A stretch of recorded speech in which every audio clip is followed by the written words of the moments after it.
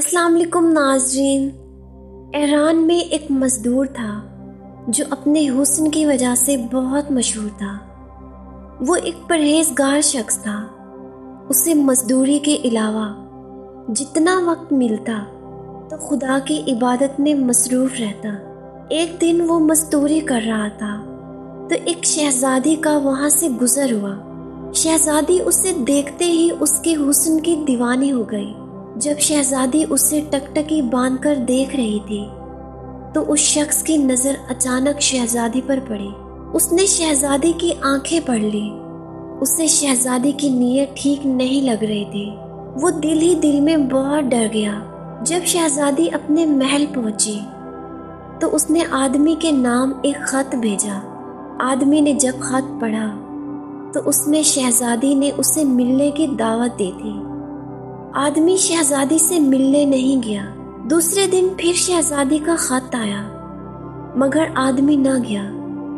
इसी तरह शहजादी ने मुसलसल पाँच खत लिखे, मगर आदमी मिलने ना गया। शहजादी को आदमी पर बहुत गुस्सा आया।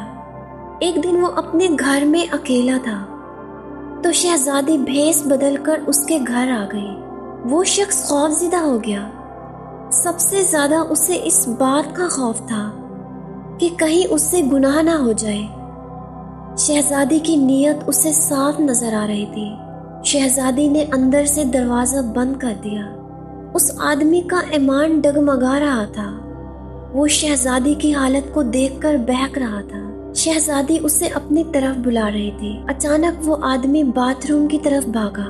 शहजादी खुश हो गई कि आदमी मान गया है। वो आदमी के पीछे बाथरूम में भागी। मगर वहाँ जाकर उसने आदमी को एक अजीब हालत में देखा। आदमी अपने जिस्म पर गंदगी लगा रहा था। उसके जिस्म का कोई भी हिस्सा ऐसा ना था, जहाँ गंदगी ना लगी हो। शहजादी को उसी वक्त उस आदमी से नफरत हो गई। उसने कहा कि तुम कितने गलीज आदमी हो, मुझे आज पता चला। शहजादी नफरत अंगेज लहजे में वापस चली गई। आदमी के पास शायद यही एक ही रास्ता था।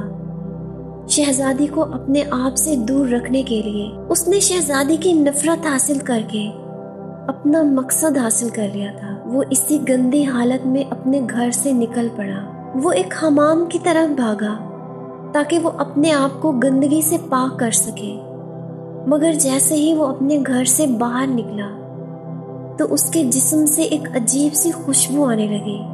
वो गंदगी अचानक गायब हो गई। लोगों ने दावा किया कि ऐसी खुशबू उन्होंने अपनी ज़िंदगी में पहली बार महसूस की। वो आदमी उधर ही रोते हुए सजदे में गिर गया। वो आदमी काफ़ी देर तक सजदे में पड़ा रहा। उसे अब हमाम की फ़िक्र नहीं रही थी। वो पहले से ही निजासत से पाक हो चुका था। अल्लाह ताला से दुआ है कि वो हमें ईमान पर कायम रखे।